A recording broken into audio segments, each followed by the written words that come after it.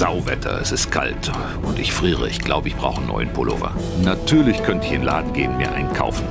Aber ich habe eine Idee.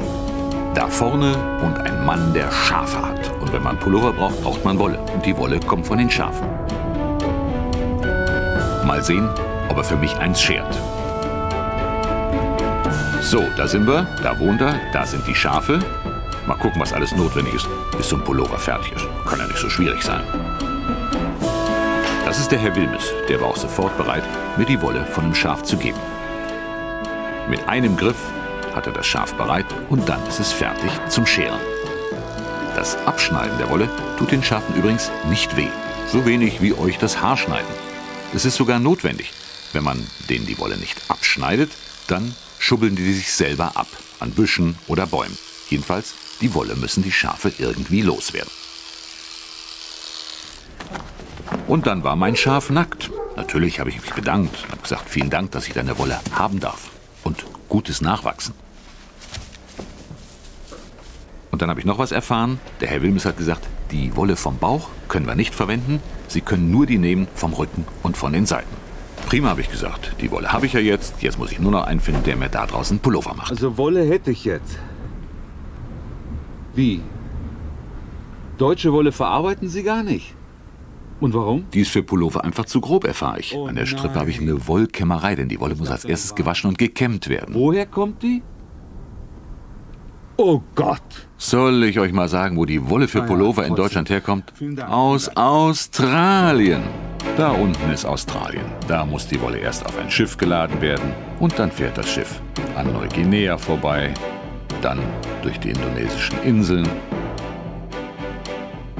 dann durch den Indischen Ozean, an Indien vorbei, dann schließlich durchs Rote Meer, durch den Suezkanal ins Mittelmeer, durch die Straße von Gibraltar in den Atlantik. 21.896 Kilometer ist das Schiff um die halbe Welt unterwegs, bis es in Hamburg landet.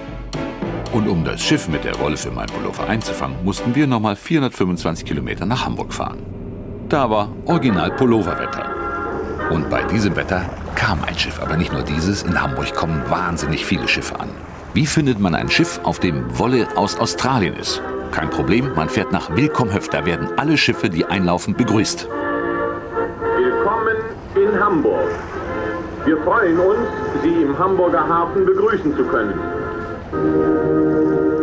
Und bei der Begrüßung wird nicht nur gesagt, wo das Schiff herkommt, sondern auch, was das Schiff geladen hat.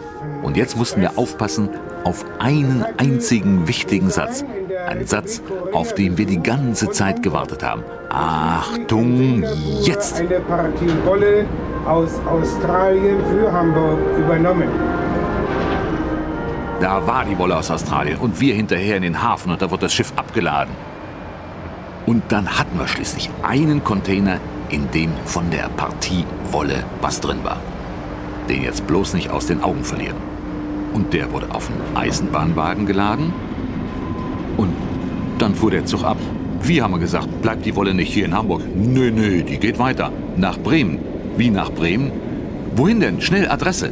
Landrat Christianstraße. Also wir in den Bus und nix wie hinterher nach Bremen. Wieder 110 Kilometer auf der Autobahn. Dann haben wir es gerade noch geschafft, wie der Zug auf dem Fabrikhof der Bremer Wollkämmerei ankam. Es gibt übrigens in ganz Deutschland nur noch zwei Wollkämmereien. So, abladen. Und beim Abladen gibt's einen Trick.